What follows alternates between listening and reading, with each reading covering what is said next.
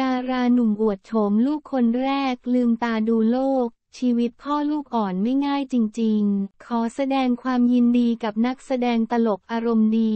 แจ็คไวท์ฮอลล์ แจ็คไวท์ฮอล์วัย 35 ปี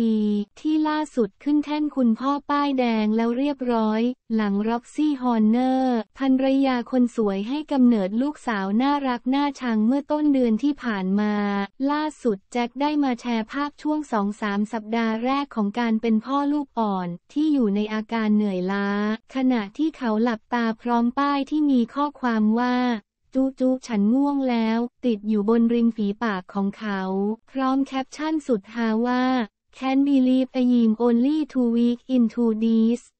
Also every morning I see this snappy and think did someone sneak in last night and give my daughter five pin of Guinness and AK แบบแจ็คและร็อกซี่ยังไม่ได้ยืนยันชื่อของลูกสาวแรกเกิดของพวกเขา